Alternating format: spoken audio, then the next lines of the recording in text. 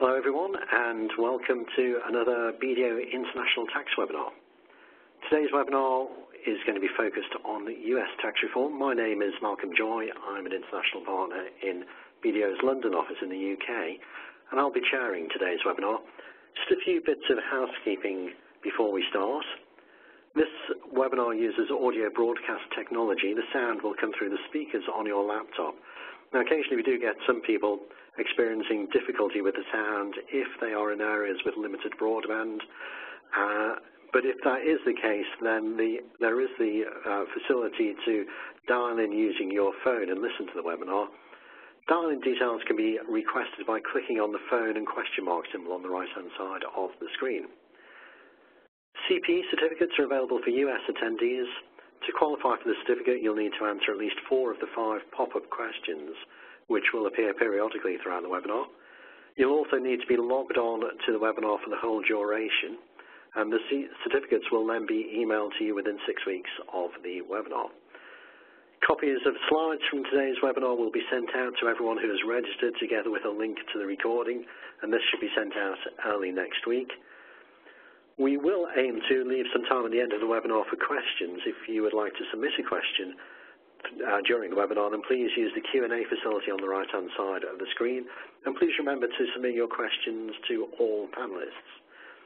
If we don't get time to answer the questions, then we will get back to you shortly after the webinar. So, for many years, we've been accustomed to a US tax system which broadly works for international businesses as follows. For the high federal rate of tax, there have been a number of significant deductions and allowances. And we've had a worldwide tax regime for US-based multinationals. They've been taxed on profits made anywhere in the world, but with a tax credit given for the foreign taxes paid. However, profits kept outside the US may escape the US tax charge until they are remitted. Consequence of the high tax rate, groups have often sought to limit the amounts of profits attributable to the US, and US-based multinationals have made efforts to keep profits overseas. We've had debt pushdowns and cross-border financing as ways to manage the profit allocation within a group. And US tax reform has often been talked about, but successive regimes in the US have struggled to bring about any fundamental reforms. In the meantime, the rest of the world has largely moved to regimes involving lower tax rates and territorial systems, leaving the US looking more and more isolated. Well, is this about to change? So, um, and US tax reform is undoubtedly the main area of interest in the world of international tax at the moment. It hasn't quite knocked Prince Harry and Meghan Markle off the front pages of the news in the UK at least, but it is non nonetheless very newsworthy. And I'm delighted to have with me four distinguished colleagues from BDO in the US who will guide us through the latest developments and the practical implications for businesses. Monica Loving, Todd Simmons, Ben Willis, and Joe Calianno. Todd will take a look at the legislative process that is required for tax reform to be enacted. Ben will explain the implications for shareholders and domestic corporations. Joe will take a look at the international aspects and also guide us through the differences between the two different versions of the bill that are out there at present, the House version and the Senate version.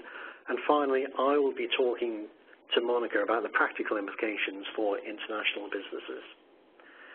This is an international tax webinar with more than half of the audience based outside the US, so we will aim to keep this webinar at a level which is accessible to tax and finance people around the world, and not just for those who already have a detailed knowledge of the US tax code. So, Todd, as of 11.05 Eastern on Thursday the 30th of November, where are we on the legislative reform process? Well, thank you, Malcolm, and good day, everyone. Um, I'm going to talk a little bit about where we are in the process, and I thought it would be helpful before we get into some of the details and implications of the provisions to give a little bit of a background on how legislation moves through Congress. I spent three years with Congress's Joint Committee on Taxation, which is charged with, first of all, being the official revenue scorekeeper for tax legislation. So when they say that the bill costs 1.5 trillion, it's because the Joint Committee on Taxation, after its analysis, indicates that it does. Um, they're also charged with writing committee reports and legislative history that we'll see come out as the process unfolds. Now, all bills for raising revenue, taxation bills, have to start in the House of Representatives, and that's why you've seen the House already pass its bill. What we're hearing now is the Senate's got um, its version. Uh, in fact, I think they've begun debate today with a hope to vote on that bill tomorrow. Um, as we'll talk about in a little bit, there's some uncertainty as to where some Republican members of the Senate um, are on the bill. Now, individual members of the House and Senate can always prepare um, bills throughout the process right now. This, um, while it's on the Senate floor, senators um, can raise amendments. There's a robust amendment process when it's on the Senate floor. It's a little bit different from the House. So senators can raise amendments. They generally need to have ways to pay for their amendments if they raise revenue as the process unfolds. The House Committee on Ways and Means, the Senate Committee on Finance are each responsible for proposals and for considering tax legislation on their end. Um, they are marked up by committee. So we would hear that the House Ways and Means Committee marked the bill up, that the full House considered. Senate Finance has finished its work, and it's now at the full Senate floor. Staff are also, also have a very prominent role. Staff from the Joint Committee on Taxation, the Treasury Department also have a role in shaping the way legislation comes out, explaining to members what changes to legislation would do, and assisting in drafting the text of legislative changes. Once the House has voted on a package and the full Senate has voted on a package, they'll each have generally two separate bills. So a conference committee will be appointed by House and Senate leadership to reconcile the two bills and come up with one package. That bill will then be voted on once again by the full House and the full Senate and then that bill, if there is one, uh, as a result of that process, will be sent to the President's desk for signature. So that's the process that we're looking for right now. And right now we're at this we're at the the part where the Senate is considering its legislative package. Um, then they have to go through the whole process again, which will again uh, raise other challenges as they go through. Next slide, please. So right now, here's the split of Congress as of middle of the month. Um, the Republicans have a slightly larger majority in the House of Representatives. The Senate has a rather thin majority. You have two independent senators who caucus with Democrats. So essentially, you've got a 52-48 split in the Senate. Um, that raises some challenges for getting legislation passed through the Senate um, for two uh, for two reasons. First of all, um, you may have senators that have philosophical senators in the majority party with philosophical issues with legislation. So their vote is not necessarily a guarantee. But in this instance, um, one senator could actually filibuster legislation generally. And if they filibuster, that generally means that they can kill a bill, they can hold it up. Only if 60 senators then vote to end the filibuster, they vote for cloture of the bill, will the bill then continue to proceed. Now, if this moved along as a tax bill, a general tax bill, um, there are not 60 senators in support of the bill to invoke cloture where they would continue to move it on. So what the Senate has done this time, like they did in 2001, is they're moving this tax package through the budget reconciliation process. By doing so, the limitations, however, are that the tax package cannot increase the deficit outside of the 10-year budget window. What that essentially means is none of the tax decreases can be effective outside the 10-year budget window. The upside is that rather than needing 60 votes to invoke cloture, only 51 votes are needed to approve the bill. So they're able to get a bill approved with 51 votes. In a worst case scenario, that can mean 50 votes in favor, 50 against, and the Vice President of the United States will come in and under the Constitution will split the tie. And in this case, we would expect the Vice President to come in in favor of the package. That's a worst case scenario in passage. Next slide, please. So as I mentioned, the Senate um, is is an interesting place. That's where things get get um, get rather interesting. No no better word than that. Um, here's a list of Republican senators that we're watching. Um, as I indicated before, um, some senators may have philosophical issues with legislation, this is no different. We'll go through these senators just to give you an idea of where they are and perhaps where there has been some compromise. Okay. Well, Ron Johnson of Wisconsin has already indicated no for the bill. He has concerns about the pass-through provisions. He wants to see um, more robust provisions benefiting smaller pass-through businesses. They're still negotiating that. Susan Collins of Maine, if you recall, when the health care bill did not pass the Senate, it's because Susan Collins, Lisa Murkowski, and John McCain had each voted no, bringing the yeses down to 49. The vice president could not break a tie in that case. Those three are on this list again. Susan Collins is concerned about including the Obamacare tax repeal in the Senate's version of the bill. They would bring down to zero the rate of the Obamacare penalty tax. Um, the reason for including that is it is estimated to raise about $340 billion through um, the government being relieved of subsidies and Medicare and Medicaid um, relief, et cetera, to the government. And using that money to pay to make just the corporate tax rate reduction permanent. Everything else would be the 10-year, as I mentioned, it would be subject to 10 years and then everything would revert back. The only provision that would be permanent would be the, 10, the corporate tax rate and that subsidy is, is to pay for that. That bothers Senator Collins.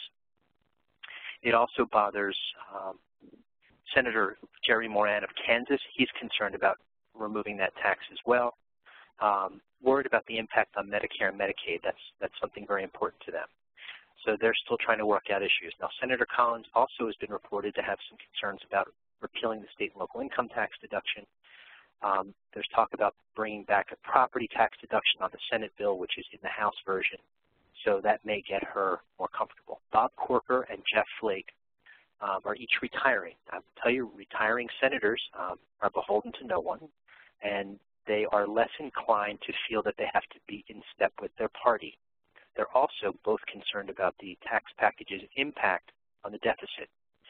Um, they, are, they did approve, however, I think they're both on the Budget Committee, which approved two days ago the, the, the bill out of committee so they could move to the floor. But despite their approval, they still have concerns. They are looking for language in the bill that would actually say something like if the bill doesn't stir up the economy or raise revenue or do the things that, that that's being touted uh, out in public, that somehow it would shut off the tax cuts. They're looking for something like that. Steve Daines of Montana, like Ron Johnson, is concerned about impact on small pass-throughs. He's looking for more benefits for them. James Lankford of Oklahoma is also concerned about the impact on the deficit. As I mentioned, John McCain, another wild card like he was in the health care um, legislation that, that did not pass the Senate, is concerned about the deficit. John McCain is likely not going to be running again. He has some medical issues. Um, and as he showed us during health care, he could be a wild card. He could show up on the Senate floor and vote one way or the other, and no one really know. We talked about Jerry Moran. He's got concerns about Obamacare tax repeal, also the deficit, and he has a specific concern about a tuition waiver provision. Lisa Murkowski of Alaska, I had, I had thought she would be concerned about the Obamacare tax repeal, but she has come out okay with that. She feels folks should not be forced to have to enter the medical, the healthcare marketplace but she has not offered full support for the bill. She's another senator to watch. Both Mike Lee and Marco Rubio wanted to see an increase in the child tax credit, which they got. It's now on the Senate version, $2,000. Marco Rubio, just as early as this morning, was reported as looking to make that child credit fully refundable. Right now, it's not a fully refundable credit. He wants it to be fully refundable and he's looking to take the 20% corporate rate that's being that's in both bills and increasing it to pay for making the child credit refundable. So there's sort of the landscape of the questionable senators. Um, there's not many legislative days left in 2017. You can see the House has about 10, the Senate 12. Does make things challenging to get things fixed because what they have ahead of them now is the Senate needs to vote on the bill. They have to make sure they have 50 senators tomorrow if that's when they're going to vote. And then they've got to go through conference all before the legislative days are end, the holidays. There are still a lot of distractions, both in the, in the administration and in the Congress. That tends to slow momentum down. There has been a sluggish momentum legislatively all year in getting things passed. This is no different. We've gone through the Senate rules. We're still looking at a 10-year package. Um, and uh, oh, I, I, should tell you that just across my, my iPhone, John McCain is supporting the tax bill. He just came out publicly supporting it, so you can put him in the yes column um, from what I just went over. So there's another senator now in favor. That will likely move things toward the Senate passing. Um, tax legislation is complex. It takes a while to pass. If things move into 2018, if they're not able to get a, a bill agreed to and, and, and um, a conference report agreed to in the president's desk by New Year's, 2018 will slow things down again. It is an election year. It is a midterm election year. Things start all over again in January, um, whether it's a new Congress or otherwise. And it will start to slow things. Folks will start to talk to constituents more. They'll start to rethink things. So I think um, there's really a push to try to get things uh, done by the end of the year. Malcolm. Thanks, uh, Todd, and thanks for the uh, the very real-time update on uh, uh, Senator McCain's intentions on the voting there. That's uh, very interesting.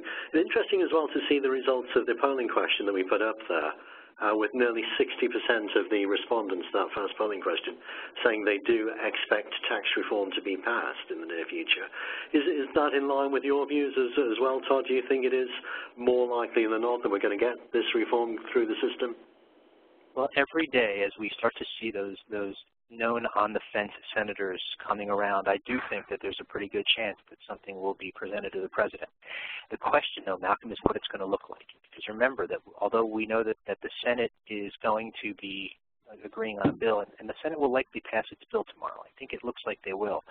The, the issue is there's, there's a few places where they do really differ from the House. One is repealing the estate and generation skipping transfer taxes. The House would, the Senate would not the Obamacare tax repeal, the Senate would, would repeal it, the House would not. Um, and there's a few other provisions. Um, the, the, way you deal with corporate pass-throughs, the, the House would, re, would reduce the rate that individuals pick up pass-through income to 25%. The Senate would have a 17.4% deduction. Those are going to be the things to watch because that process could add or lose senators as they go forward. Okay, interesting. Uh, interesting analysis there. Thank you very much for that, Todd.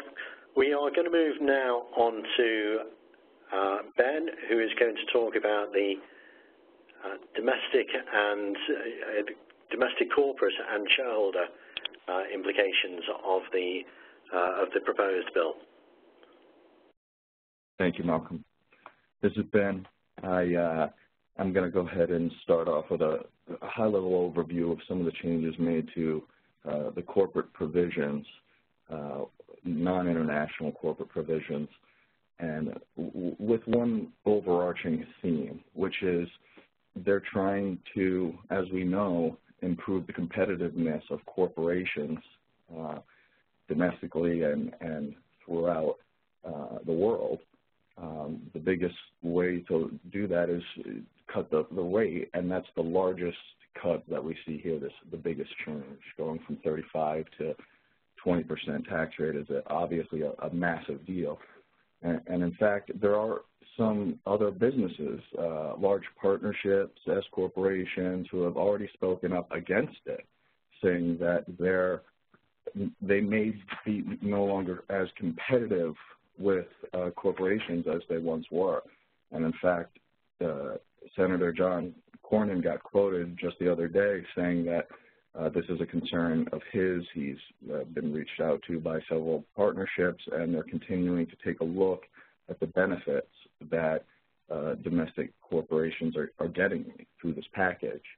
Um, in other words, they're, they're getting a lot. This is a, a, big giveaway for corporations that may change the landscape for how we're all looking at what entities we're going to be dealing with in the future and uh, and when we're going to be utilized.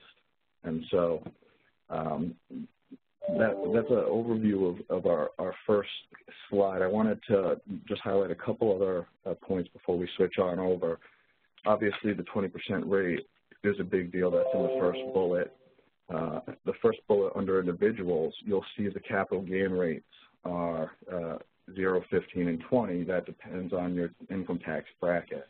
And so whether it's 15 or 20, if you have a lot of income, um, that's the max rate. And the AMT uh, would be repealed. So we'll circle back to how capital gains tied to the lower corporate tax rate could have a, a, a large impact overall. Um, in, in, other words, in, indirectly on its shareholders. And then we have uh, some provisions that relate to pass-through entities uh, that Jeff uh, Bilsky will be uh, talking about and we'll be getting uh, some more uh, discussion on later on.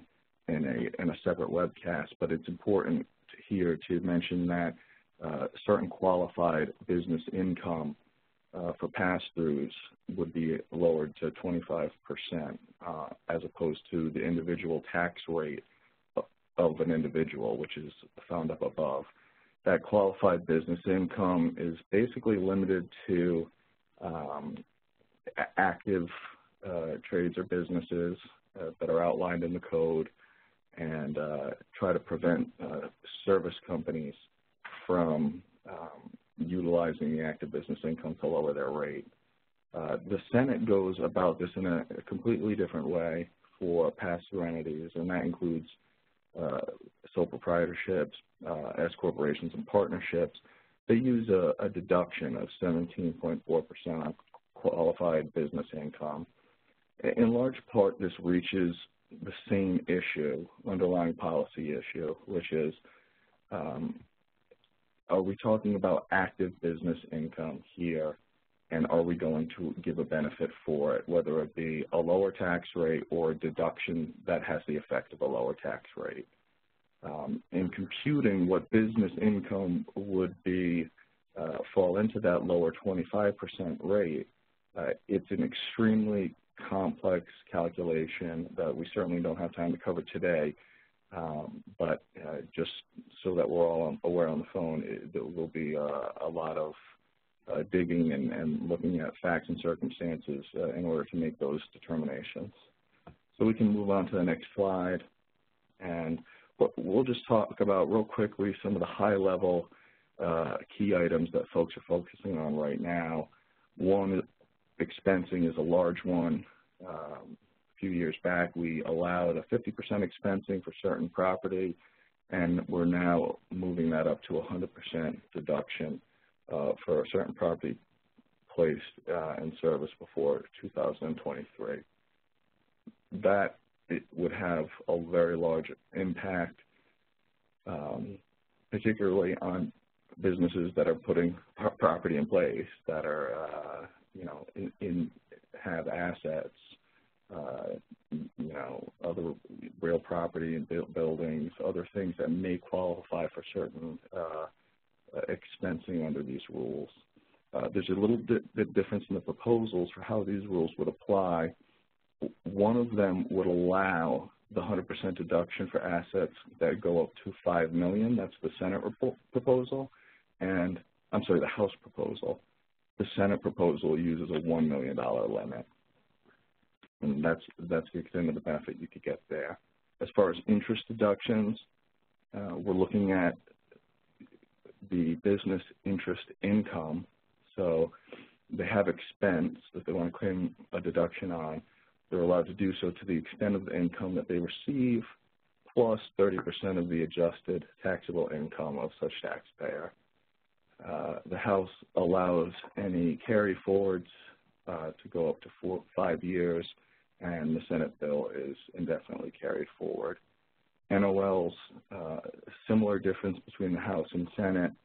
Um, with both, the NOL carrybacks would be eliminated and NOLs would be limited to 90% of taxable income. Um, for the Senate, there's an indefinite carry forward period. So once again, they're both uh, similar to the interest in uh, NOLs. As far as the majority of other business tax credits and deductions uh, in the code, they're largely eliminated. And so um, this is a big base broadening effect that it will have. It will reduce rates and pull away a lot of our deductions. That'll bring us to our last slide on the just general uh, domestic considerations, um, but that will be felt across the board, and that is um, choice of entity which was where we started off on. Uh, if you have a, a, tax rate of 20% on a corporation, let's say it has $100 of earnings, and uh, 20 $20 goes to pay off that tax, that $80 could be distributed up and taxed at the capital gains rate, assuming that it qualifies under 1H11 uh, or whatever provision is applicable at that time um, if it's modified, but it would be 20% of the 80, which would be about $16. So the total tax rate going from corporate income to individual hands is 36%, which is obviously lower than 39%, uh, which is the highest bracket individuals currently face. And, um, and thus it has this, this effect of essentially making it better for individuals to have their income in corporation, uh, not only just for the rate, but also for the deferral benefits. Uh, the pass-throughs, obviously, they're included immediately. Corporations, they can historically, for foreign, they've been doing this, and they would continue to allow that uh, that deferral uh, for these U.S. companies as well. Um, DRDs have been reduced slightly. That's a base broadening provision. Uh, it, it's going from 70 and 80 percent to uh, 65 and 50. And another provision that's uh, pretty important in the House has to do with 351 contributions and whether or not they'll qualify as property. Historically, you could contribute property into an entity and not issue stock if you were a sole shareholder. Under the new provision of the code, Section 76, it would require that you issue shares equal to the fair market value of the property contributed in. And this could take away some planning opportunities that involve uh, basis uh, movements and uh, basis spreading, and um, and there could be uh, other effects as well. Uh, this will obviously impact partnerships uh, equally, but um, they were never able to benefit from 118.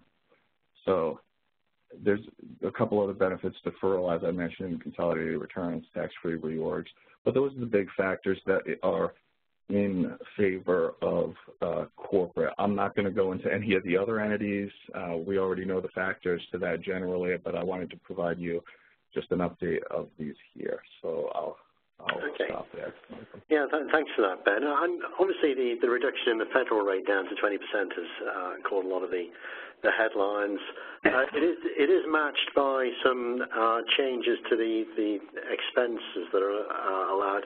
Interesting to see that of the people responding to our polling question, 71% think that it will be uh, it will make the U.S. a more attractive place for doing business. Um, but are there any particular sectors that are going to be more favored by these changes, do you think, or, or any sectors that will uh, potentially be disadvantaged by those sectors, or, or, are the changes likely to apply relatively equally to, to all sectors in the economy? That's a great question. Well, the, the, one example would be just say the real estate industry. So one big advantage for taxpayers to buy homes is they get to deduct their interest up to a certain amount. Uh, I included a bullet in here about the standard deduction being increased to $24,000 because that's roughly uh, about what the interest would be on a $500,000 loan uh, for a mortgage. And so the, uh, normally somebody who would otherwise indiv individually itemize their deductions um, for their home, they now would lose that incentive to do that. And so that could adversely affect the real estate industry somewhat. Um, also, any industries that are, you know, heavily dependent on debt.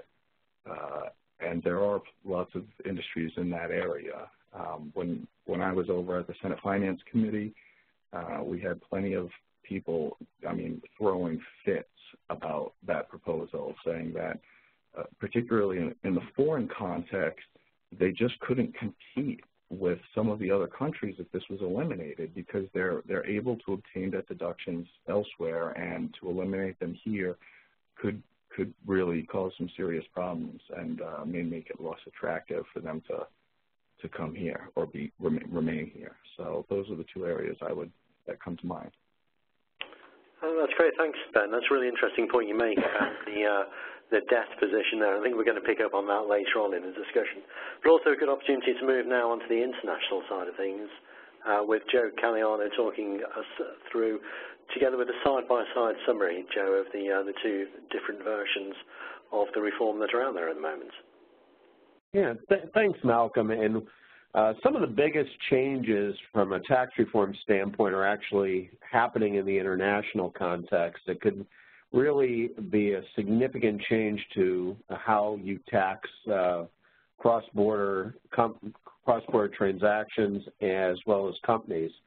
So the first big one is uh, the implementation of a dividend exemption system. And this is really designed to end the lockout effect and encourage U.S. companies to repatriate earnings. There's been a lot of stories out there about companies having billions, if not, you know, in the aggregate, trillions of dollars offshore in foreign earnings.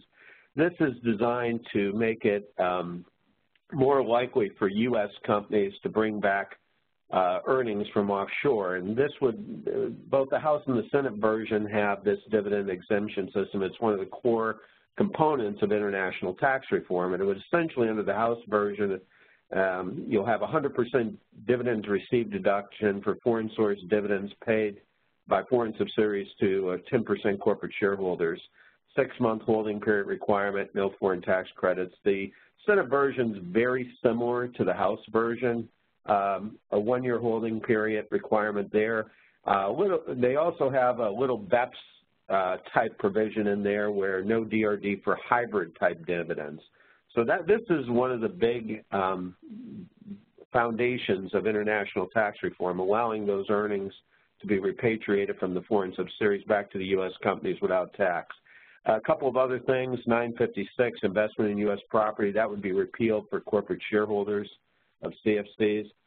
There's also a provision in there limiting losses with respect to certain specified 10% foreign-owned corporations. Basically, they would require you to reduce your basis by exempt dividends. They're coming up under the dividend system, but only to calculate your loss. In addition, there's also a provision in there um, for post-2017 foreign branch loss recapture if you have a transfer of substantially all the assets of a foreign branch to a foreign corporation. Next slide. So the uh, so one of the ways that they're helping pay for tax reform is what we'll call a transition tax. And as I mentioned, there's a lot of earnings that you, that are offshore that haven't been repatriated back in the United States. I mean, the number is fairly high. Some would say it's in the trillions. So what this would do is this would provide a significant source of revenue for tax reform. Um, and it's viewed as a necessity to transition from our worldwide tax system, which we've had forever, to a participation exemption or a quasi-territorial system. So what would this require? This would require 10% U.S. shareholders of certain specified foreign corporations to include post-86 historical E&P uh, as of either uh, November 2nd, 2017 or December 31st, 2017 under the House version, whichever is greater. Uh, the mechanism they're using is subpart F, and this requires you to differentiate between E&P that is in cash or cash equivalents or illiquid assets, non-cash assets. So there's a higher rate, a 14% rate under the House version for cash, 7% for non-cash. Um, under the under this uh, transition tax or mandatory deemed repatriation tax, deficits would generally be available to offset your inclusion. Um, there's an election where you could pay it over eight annual installments, and there's special deferral rules for S corporation shareholders. Now, this that's the House version. The Senate version of the transition tax is very similar. slightly different testing date as of 11-9-17 or 12-31 uh, 17, whichever is greater. There, the rates for the cash piece is 10% instead of 14%, and the non-cash piece is 5% instead of 7 under there. Um, similarly, there could be an election to pay over eight installments, but uh, the amount paid would increase over time, the percentage you had to pay. Um, and there's uh, some other special rules, but very similar. The Senate version is very similar to the House version, but one of the biggest differences is some of the uh, the difference in some of the rates with respect to ca uh, earnings that are represented by cash or non-cash. So next slide. Some other changes that are coming up Indirect foreign tax credits, generally Section 902, which provides for an indirect foreign tax credit, would would be uh, essentially eliminated, but they would retain 960 as Section 960, which allows indirect foreign tax credits on a current year basis. That's for certain subpart F type inclusions. So they, it would be more of a current year basis. Um, sourcing of produced inventory, um, they would change those rules so that source based solely on jurisdictions of production activities. So, um, you know, the title passage rule with respect to this particular uh, produced inventory would not uh, be relevant in determining the sourcing. Um, some of the significant changes relate to our subpart F rules, our CFC and subpart F rules, but I think it's worth noting at the outset that um, certain subpart F rules do remain in effect. We have certain rules dealing with foreign-based, uh, foreign personal holding company, foreign-based company sales, foreign-based company services. They continue to apply, but there are a number of changes to our CFC rules, our subpart F rules. In some cases, they're expanding the subpart F rules, and others, they're reducing it. I'm not going to go through all of these, but just to mention a couple, there will be Uh, some inflation adjustments for the de minimis rule. The CFC look-through rule, which allows certain CFCs to pay certain types of payments, dividends, interest, rents, royalties, without producing subpart F income under our CFC rules. That would be made permanent. They would, one significant change would be the expansion of the stock attribution rules for determining CFC status. Um, generally, if you have a foreign parent and a U.S. subsidiary, the, the stock owned by the foreign parent generally under our current rules wouldn't be attributed to our U.S. subsidiary. They would change that and therefore expand the scope of entities that potentially could be CFCs and U.S. persons that could be shareholders. Um, they would eliminate the 30-day rule, which is a rule that um, has been used over the years by certain taxpayers affirmatively. If you have a CFC that's not a, CFC for 30 or more days during the year, during the tax year, you, could potentially avoid subpart F, so they would eliminate the 30-day rule. Uh, the Senate version uh, modifications are generally similar to the House version. A couple notable items. They would expand the definition of a U.S. shareholder for CFC purposes to include uh, U.S. Per U.S. persons that own 10% of the foreign stock by value. Um, let's go to the next slide, intangible income. So with the dividend exemption systems, um, there might be, might encourage companies to move profits offshore. And some of the provisions dealing with intangible income or, or, or, or designed to address primarily intangible income, income are designed to remove certain incentives of moving IP offshore by um, taxing certain foreign high returns generally applicable to intangible property and risk. And um, so, so we have two different um, provisions dealing with IP. Um, one is the House version, which would have U.S. shareholders of CFCs, including in gross income for a tax year, an amount equal to 50% of foreign high return amount in a similar manner, uh, similar to the subpart F inclusions. And there's a very complex formula for doing that, but once again, it's, it's focusing primarily on IP type of situations.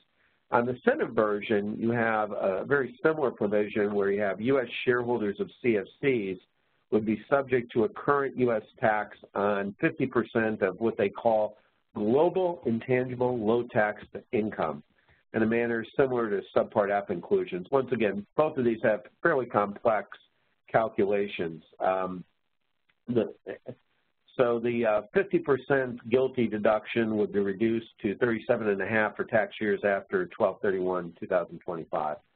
Some other items on the Senate version, there would be a deduction for foreign-derived intangible income equal to 37.5. Once again, there's some complex calculations in here. Uh, foreign-derived intangible income deduction would be reduced to 21.875 for tax years after uh, 2025. A couple of other items, next slide, um, that deals with intangible income. Um, there are certain rules under the Senate version that would allow CFCs to repatriate IP that's offshore, onshore, without a tax cost to their U.S. shareholders. And there's also some rules dealing with limitations on income shifting through intangible property transfers, including um, a somewhat controversial area. This would treat workforce in place and goodwill and going concern as Section 936H3B intangibles. Next slide. Um, there's a number of um, rules uh, designed to address deductible payments to related foreign affiliates that are, that are seen as eroding the U.S. tax base. Um, the House version, which is a somewhat controversial provision, would impose a 20% excise tax on certain deductible payments with, uh, with certain exceptions uh, made by U.S. corporations to related foreign persons unless the foreign uh, company elects to treat the, uh, that, that as effectively connected income in the United States. Um, and this, this provision would generally apply to international financial reporting groups with average annual outbound aggregate payments of at least 100 million. So once again, you see a focus here on certain base erosion payments, trying to carve back those. Now on the Senate side, uh, they have a base erosion tax of 10% on modified taxable income over the regular tax liability reduced by certain credits. So this is almost like a minimum tax type of provision. Once again, the focus of this provision is on certain um, deductible payments that are being made to foreign persons. It applies to U.S. corporate taxpayers with annual gross receipts of at least 500 million. and there's some special rules on how you calculate that and a base erosion percentage of 4% or more. And the base erosion payments generally are certain deductible payments paid or accrued to a related foreign person. Um, once again, these are designed to get at base erosion payments. Next slide. And I think Ben kind of hit on, um, on, on, this a little bit. Um, some of these proposals are designed to uh, discourage excess leverage and I think, Ben, you brought up the proposal uh, which would limit um, your interest deduction to 30% of adjusted taxable income with certain exceptions. Um, both in the House and the Senate version, there's additional limitations on interest that uh, in the House version, there's a limitation for certain fi international financial reporting groups. And on the Senate side, there would be additional limitations with respect to interest deductions for certain worldwide affiliated groups. Um, so once again, you're seeing a, a, theme here where they're looking at trying to claw back or reduce certain deductible payments. Um, there's, a, there's a number of provisions in the House version dealing with possessions, which I'm really not going to discuss at this point. Um, maybe go to the next slide, which um, deals with some additional provisions that are included in the House version. And um, some of these are, are, somewhat interesting because we've seen them in, in, in, in some different contexts. Um, one is a BEPS-like provision, which would deny certain interest and royalty payments to related parties in hybrid transactions or with hybrid entities. It's worth noting that um, you know, a couple a couple years back under the Obama administration, there was a very similar type of provision designed to address certain transactions that are hybrid in nature, and we do see this on the Senate side as well. Another one deals with uh, repeal of special rules applicable to DISC and IC DISC. This is uh, a lot of companies have DISC and IC DISC, and it's generally viewed as a, a very favorable benefit. Uh, under the Senate version, there would be a repeal of that.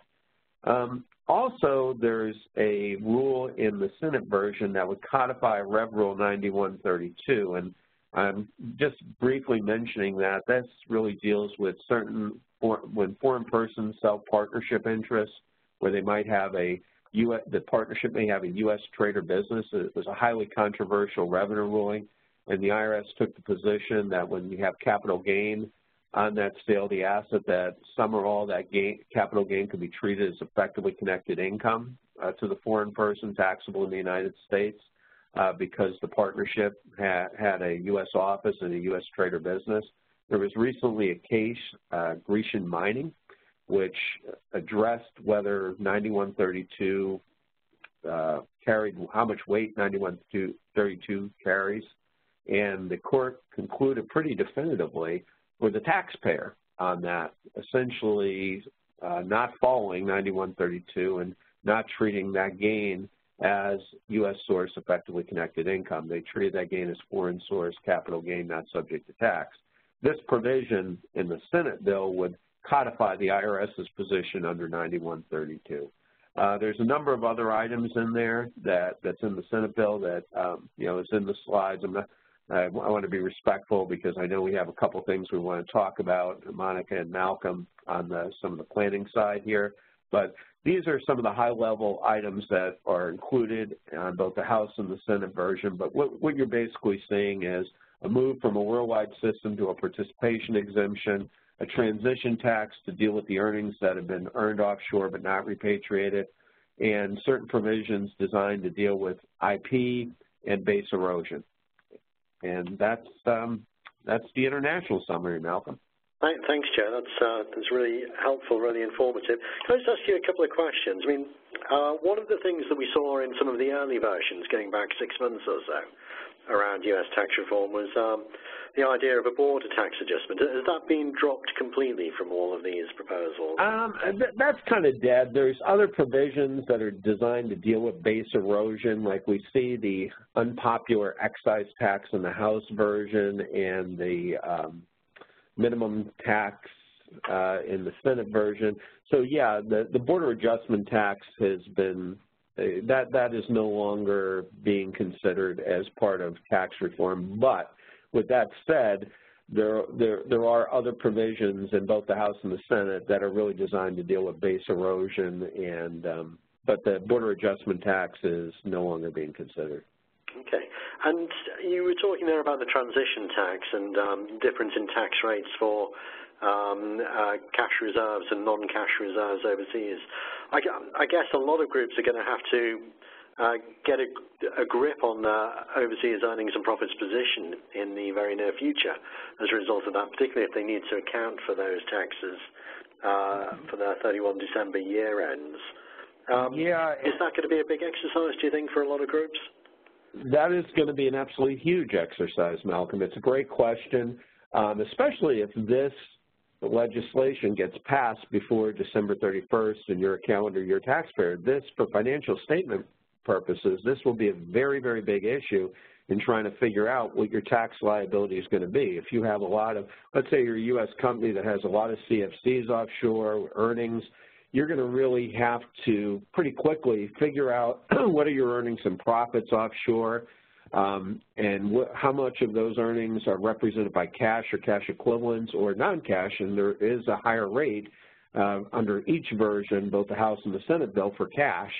And um, that's an exercise, a modeling exercise that I think most companies right now are doing or should be doing um, probably yesterday because um, this, as Todd pointed out when he first started, this is moving fairly quickly right now and there is a possibility that this could be passed by the end of the year. So um, that's probably the item of all of these items I discussed today, that's the one that's probably getting the most attention because that's where both for tax and financial statements, you're going to have to figure out what your number is. What is the tax going to mean to you?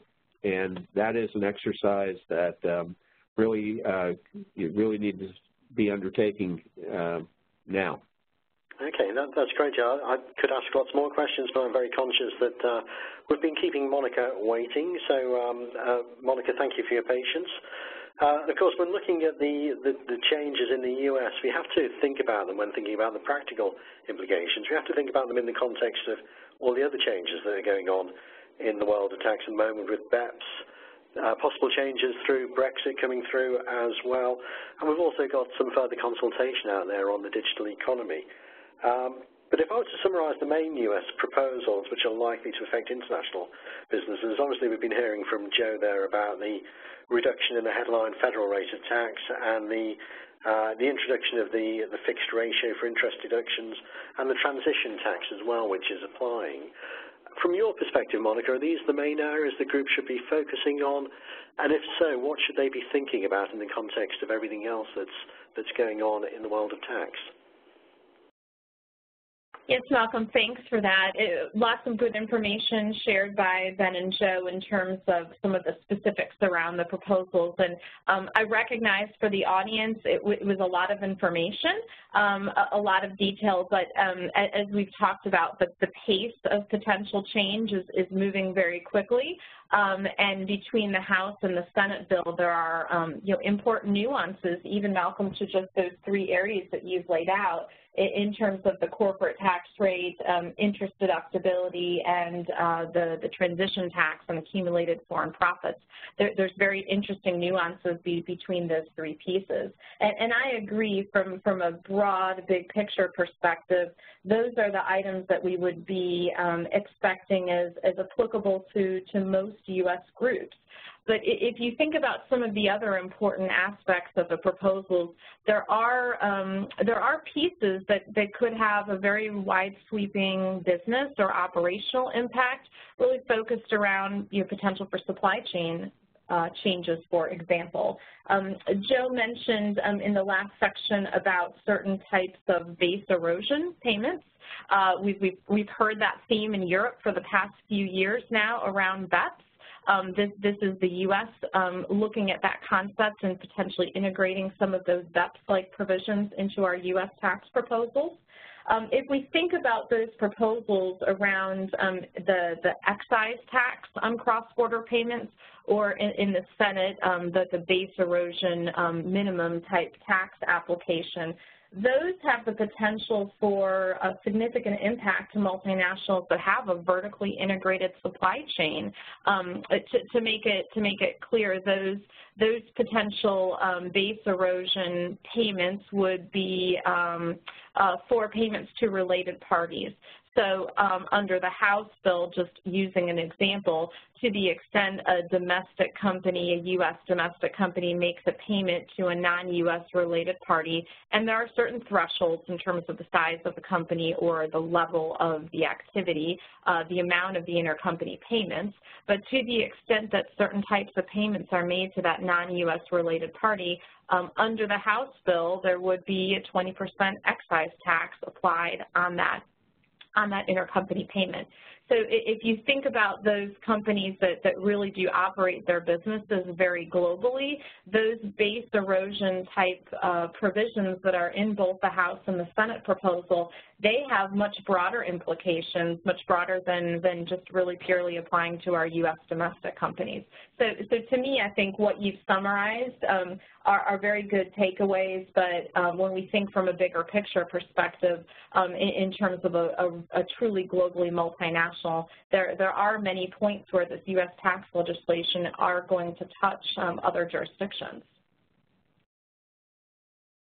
You know, I think, um, you know, Malcolm, we've, um, you know, here on these slides, we've, we've laid out um, what we call, you know, five questions to ask. And I, I think of these questions like a self-assessment uh, that a multinational should be asking um, themselves as we are going through this journey on U.S. tax reform. Uh, we've been in a time of significant change in terms of our global tax landscape. Uh, we also the BEPS action points that were released in 2015, and, and many of those changes in light of BEPS have been you know, filtering through uh, tax law changes in, in Europe for the past year. Uh, the UK had its, its, Brexit vote in 2016, um, and now in 2017 we're, we're looking at U.S. tax reform. And you think of the, the coming together of these three you know, extraordinary events uh, and, and, the impact they have to a multinational, um, it, it's really a time where companies need to prepare for that change, um, model it out, and, and, execute on any potential steps uh, to optimize their tax posture. So the, these questions are um, very high level and um, you know, very general in nature because as, as we've thought about U.S. tax reform, these areas, um, tax profile, just you know, what are the company's tax attributes and, and what is their current tax posture, what, what does their treasury situation look like? As, as Joe mentioned, um, the uh, accumulated earnings transition tax, foreign accumulated earnings transition tax, applies differently for cash type items versus non-cash items. So understanding of the, the treasury posture of the company is very important. The supply chain implications as it relates to um, uh, potential for uh, U.S. tax treatment on um, deductible payments, base erosion deductible payments, and, and, just the impact that all of that has from an overall global effective tax rate perspective. You could certainly look at that from, from a U.S. tax perspective only for a U.S. multinational, but I, think our, our premise here is that we're at a place in time where there needs to be a very holistic look by companies at their entire tax posture because of that, because of Brexit, and now because of U.S. tax reform. That, that, that's a lot of moving pieces to look at from a conceptual perspective. The result may not be intuitive to what our historic international tax thinking is around global tax structure. And, um, you know, our second question asks about what should be vetted, all, all of these areas that we've just been talking about. Um, if, if, we move on to the next slide, you know, our, our other questions are, are laying out specific attributes that should be reviewed. These are focused on, on U.S. tax attributes. And then how do we consider those from a planning perspective? So um, th these are five questions, as I said, that we could think of from a multinational's perspective as a, as a self-assessment on, on where we are today on the 30th of November um, in, in light of potential tax reform, but bringing together all the pieces that we've seen from um, an external perspective around global tax change over the past few years. And Monica, you mentioned their supply chain modification. I, th I, think in the past we've seen a lot of U.S. groups use structures like uh, offshore principal structures or, or offshore IP ownership, uh, or even um, you know, just uh, limiting the profits in, in other countries with uh, limited risk distribution models, things like that. Is, is all of that now up for uh, review and, and potential change, do you think? Certainly, that, that that's up for that's up for analysis. It's, it's very interesting as a U.S. tax professional to be maybe sitting on on the other side of the table. Uh, the U.S. historically with a significantly higher uh, federal tax rate than than the remainder of the world. Uh, you know, we've often thought about supply chain type planning with offshore foreign principal structures um, away from the U.S.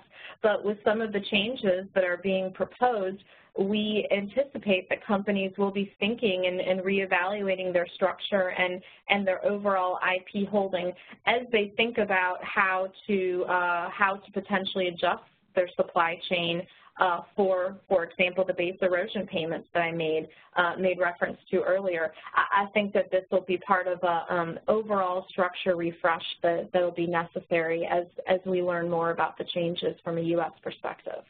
Okay. Now, one of the slightly unusual features, uh, certainly unusual from looking outside of the U.S. In, into the U.S. tax system, has been the check-the-box rules on entity classification.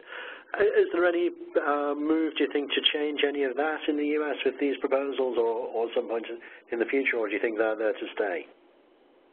Well, as, as we stand, um, the current proposals that we've been discussing don't address any um, modification to the existing check-the-box rules. Um, and that's you know, very, very commonly discussed outside the U.S. as, as we talk about U.S. tax structuring. Um, it, it's always a, a very interesting mechanism to those outside of the U.S. in terms of how our entity classification selection rules can operate. Under the previous presidential administration, there was some discussion about repeal of uh, check-the-box rules potentially, but, but nothing as we sit today. Okay. Um, any options available at the moment for immediate planning, do you think, with these rules? Particularly I'm thinking of the transition tax, where we've got uh, a tax that's going to be based on the amount of um, overseas earnings and profits and different rates for cash versus non-cash. Is there anything the groups can be doing around that now, or is it uh, just a case of um, calculating what the tax charge will be once the, uh, the final rates have been set? Mm -hmm. You know, they're, a very good question. I mean, for those groups that have significant um, non-U.S. earnings in, in what are now um, CFCs for U.S. tax purposes, we really should be thinking about quantifying earnings and profits, making sure those numbers are, are very tight in terms of the historic calculations so that there can be appropriate and accurate modeling done as to the impact of the transition tax. But also looking at, um, at planning opportunities such as, for example, accounting method changes that, that may be able to um, make adjustments uh, related to the uh, amount of accumulated earnings um, as of, you know, Joe, Joe, Joe described in his section, potential for 1231.17 um, application of that calculation. So looking at accounting method changes that, that may be favorable from an adjustment perspective in those calculations.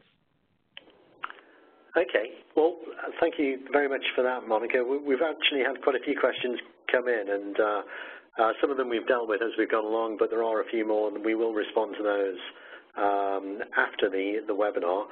So I'd just like to say thanks again to Monica, Todd, Joe, and Ben for uh, guiding us through the, the U.S. reform proposals and where we are in the process. I hope you found it uh, very informative. Thank you very much to everyone for dialing in.